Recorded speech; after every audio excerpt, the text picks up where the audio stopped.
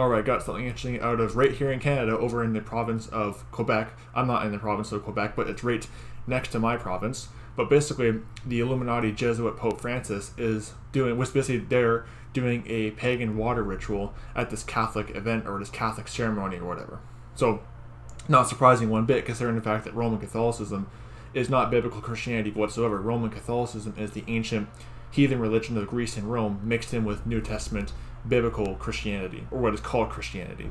That simple.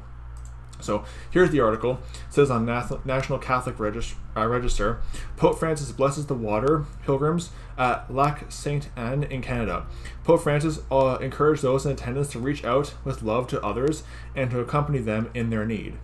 Yeah, sure.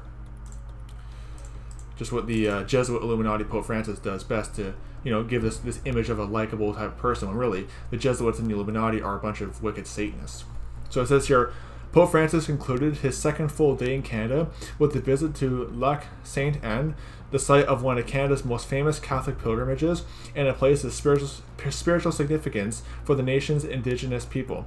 The Pope celebrated a liturgy, liturgy of the Word at the shrine of Saint uh, Saint Anne, however we say it, Saint Anne, with a crowd of mostly indigenous people in attendance, estimated around 10,000. The large, shallow, and muddy lake, about an hour's drive from Edmonton, has been reserved as a place of spiritual significance and healing for uh, and of healing for centuries, known as Wakamne, Lake of God, by the Nakota Sayaks, and the Lake of the Spirit by the Cree, by the Cree people. It, is it has received the name Lake Saint Anne from Father Jean Baptiste Thibault, the, the first priest to establish a permanent Catholic mission in Alberta in 1842. Yeah, call no man father in Matthew chapter 23, verse 9. You know, the title of, of father as a religious title belongs to God. He's called the Holy Father, John 17, verse 11. But the, the, the papists, they steal God's titles.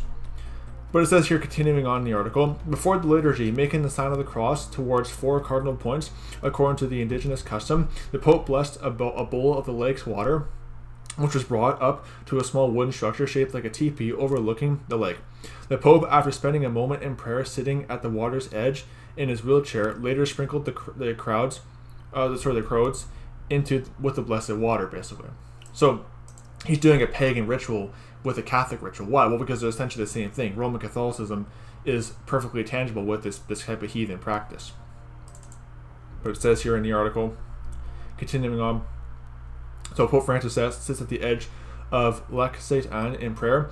Vatican Media, in his homily during the Liturgy of the Word, the Pope noted that much of Jesus' ministry took place by a lake, the Sea of Galilee, a place where various peoples, uh, uh, who then, as today, flock from different places in a natural theater such as this, Jesus preached to everyone. Uh, God chose that richly diverse context to announce the, to the world something revolutionary. Turn the other cheek, love your enemies, love as brothers and sisters, live as brothers and sisters, so as, be, as to be the children of God, the Father who makes his sun shine on both the good and bad, and sends rain on the righteous and on the unrighteous. Matthew chapter 5, verse uh, 38 to 48.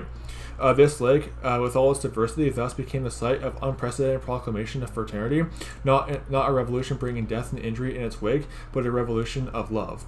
So he talks all this nice talk, but really, you know, again, where's all this uh, to the Christians that his his cult, his Romanist cult, burned over this burned burned at the stake over the centuries for holding a, holding a physical copy of God's word or rejecting the heresies of Romanism. You see, he'll do all this nice talk but really, like I said, the Jesuits and the Illuminati, they're a bunch of dirty Satanists behind closed doors, a bunch of uh, pedophiles and sex perverts, all that stuff.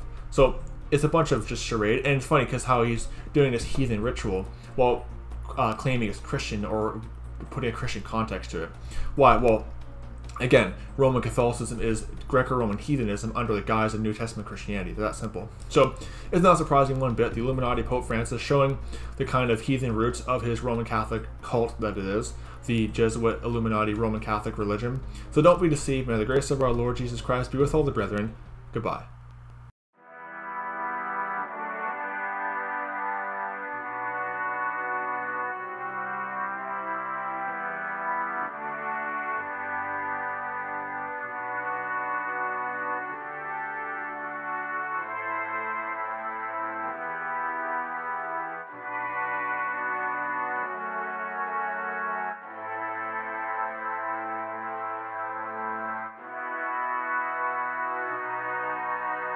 Bye.